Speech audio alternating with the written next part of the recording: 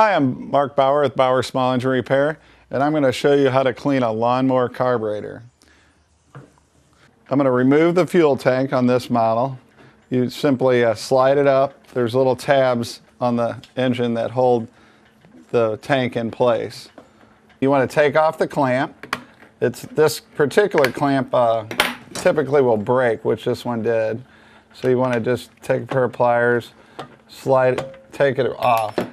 Then you can take a pair of needle nose pliers and slide it behind the fuel line, and that'll enable you to pry it off. You don't, if you try to take it off by by squeezing the fuel line, you're just going to pinch it onto the fitting here, and you could damage that fitting. Just simply take the needle nose and pop that off.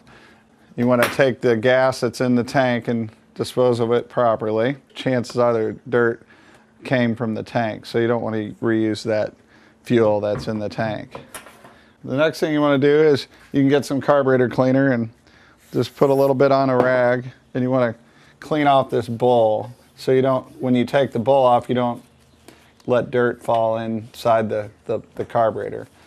So you want to lay it, a rag down and so you don't get gas everywhere. Simply unscrew that jet. That that's nut is also a main jet, and this gas. This gas smells bad and has a yellowish color. It's it's it's stale. So um, you just loosen it up with the wrench. Once you get it loosened up with the wrench, then you can grab the grab it and unscrew it. Sometimes it takes two fingers. All right, the most common failure is this. This is the main jet, main jet slash bowl nut.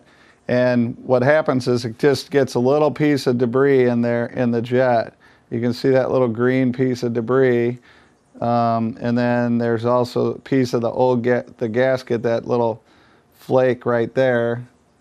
And you want to simply clean that gasket off of there. Get all the old gasket off. Just like that. So you want to make sure that's clean.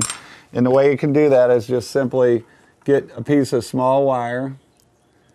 Let's see here. And you poke it in and out of that hole and make sure that it's clean. It's really, um, it's imperative that that hole is clean. So you run the wire through there and you can also run the wire through this hole in the middle. You want to go down the middle. Just spray a little bit out on, in, on the jet. Can just do that. And if you don't have carb cleaner, you can just make it really clean with just using a brush. Um, the carburetor cleaner just uh, helps get a little bit more a little bit more of it off there.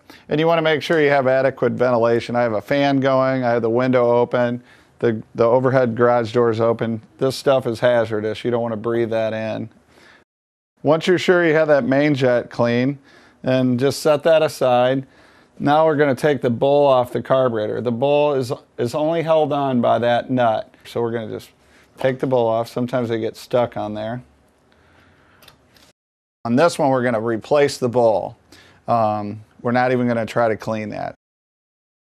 What I'm going to do now is make sure that the float is uh, moving freely.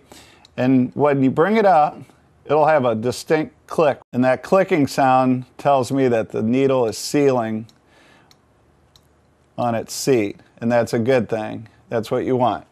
So we're going to take the gasket off. And you just get a little uh, screwdriver. In this case, I'm using a pick. And this gasket is really bad. So I'm going to take this off here. I have compressed air, so I'm going to I'm going to blow it, blow that off. Okay, this is a new bowl O-ring.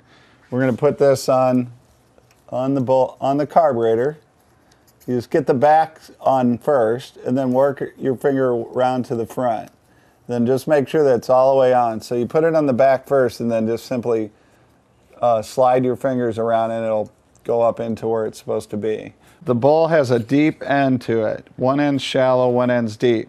You want to place that shallow end right where the hinge pin is. So you just simply put the bowl on there. We'll pull that away. And now we're going to just get that back in place. Now we're going to tighten our nut.